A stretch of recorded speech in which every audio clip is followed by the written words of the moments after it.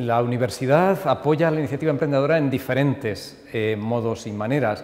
Eh, hay un primer conjunto de líneas de apoyo que consisten en facilitar la obtención de financiación externa de la universidad, tanto pública como privada, y que se traduce en apoyo a la hora de identificar fuentes de financiación y preparación de propuestas con las mejores garantías de éxito posibles, gestión de las mismas y consecución de resultados. Con este premio, eh, reconociendo el mejor proyecto de cada centro, lo que hacemos es que ahora tendrán ocasión de tener una experiencia real muy enriquecedora, porque tendrán ocasión en, Silicon Valley, que es en lo que consiste el, premio, pues de conocer, de relacionarse. Considero que es una experiencia formidable, una, oportunidad que nos ha dado Youth eh, tremenda, en la cual, bueno, Hemos conseguido nuevos conocimientos eh, con los que poder ahora empezar una nueva etapa, con los que poder emprender. Una inyección de motivación, al haber ganado tremenda ¿no? Eh, y, luego también un compromiso, ¿no? Por seguir con esto adelante, ¿no? sobre todo al ser un trabajo que va a hacer un bien a la sociedad. Lo interesante de ese viaje va a ser sobre todo ver todo ese ecosistema de emprendedores que, claro, que hay allí, que son todas las empresas líderes del sector. Naotherapist es una plataforma robótica de rehabilitación para niños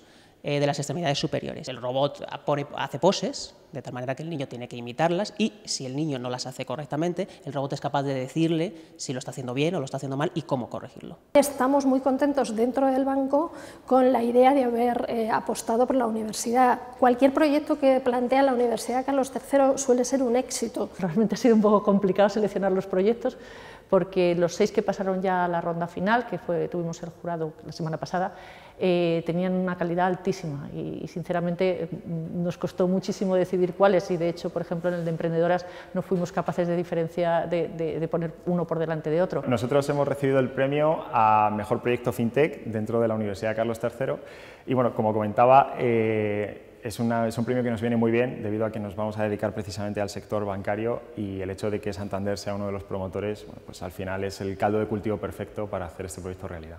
Hemos ganado el premio de la mujer emprendedora y nos va a servir para dar visibilidad al proyecto, para seguir encauzándolo y para dar más seguridad a los clientes. Baby App es una aplicación móvil para favorecer el desarrollo de los bebés durante los tres primeros años de vida mediante juegos en familia. Pupi TV trata de abordar eh, una problemática existente dentro de las empresas eh, relacionada con la comunicación. Según iba avanzando el programa y iban avanzando las sesiones y demás, pues realmente sí que vi que este proyecto podía tener un impacto dentro de, la red empresarial y que, podía, que podíamos abarcarla. Así que yo creo que ha sido muy buena experiencia y me ha aportado muchísimo.